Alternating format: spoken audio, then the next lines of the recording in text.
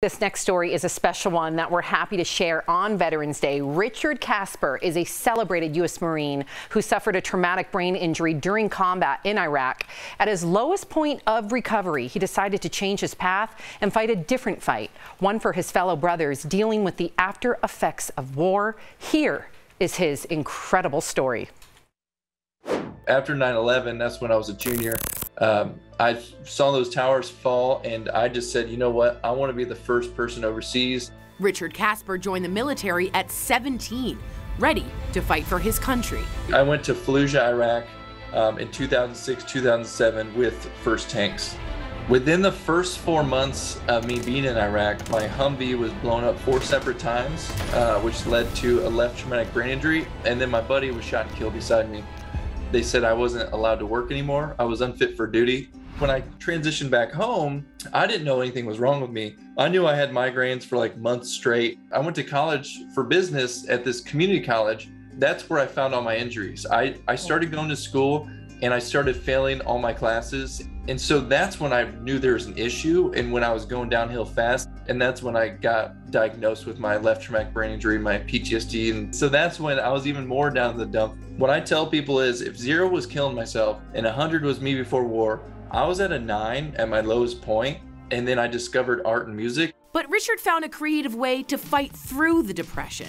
So I used to doodle all the time. I used to draw. How about I take get an easy degree in art and that's what ended up changing my life that decision because in the art classes is where i actually learned how to tell my story without telling my story and i said you know what i want to create a nonprofit out of this because i think so many veterans are going to benefit from telling their story taking matters into his own hands he launched CreatiVets to offer support and relief to those who have sacrificed for our country. The program uses forms of arts to help veterans cope.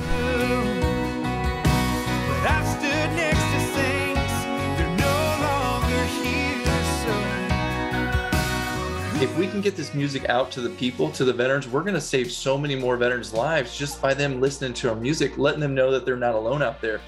I'm so excited about our next guest. He is a Purple Heart recipient and one of Time Magazine's next generation leaders. Please give a hero's welcome to DBL, Richard Casper. Yes. Yes. Thank hello, you. hello. Thank you.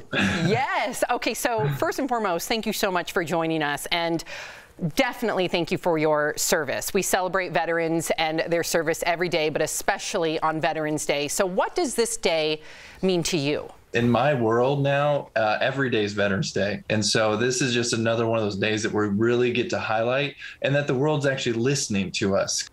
Richard, we're thankful for you again. Thank you for your service. Could you tell us about the day in Iraq that changed your life?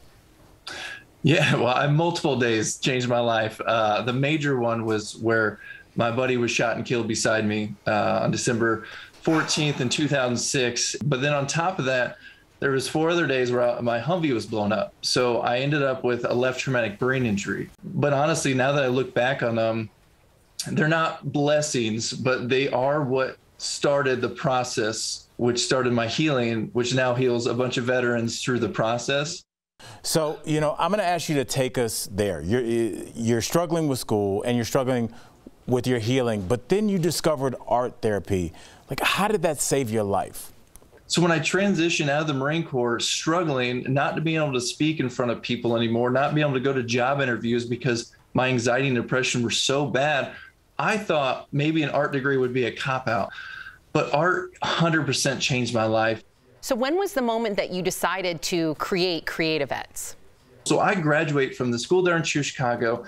I'm almost fully back to normal. I wrote a song in Nashville that helped me express what I was going through that way. So I have a song, I have my art, and I'm I'm ready to tackle the world. And then I look back and I say, wait, is any other Marine or combat vet going to do what I just did? So the next step, I started searching. Are there organizations that do this? There wasn't. There was nobody enrolling veterans into these art schools, bringing them to Nashville to write songs. And so I knew we had to do this. I love it. Richard, tell us about this amazing collaboration with one of Nashville's biggest labels and country music stars.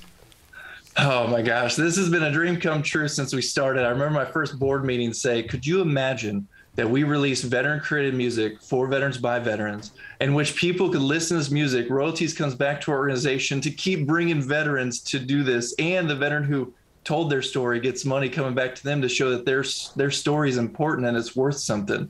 So now by partnering with Big Machine Records and putting top tier artists on our songs, when a veteran's sitting at their home just looking for someone to connect with and they find a random song and it sounds like Justin Moore and they look at the artist and they say, wait, this is Creativets featuring Justin Moore and they search us, they find out that we'll pay for their flights, their food, their housing wow. from anywhere in the country to us we're legitimately reaching in the homes and pulling them out through these partnerships with Big Machine Records. Oh you goodness. are a godsend, Richard. You truly are. Some people are just born to serve. Right. I mean, you were serving in the military, now you're serving and you're saving lives.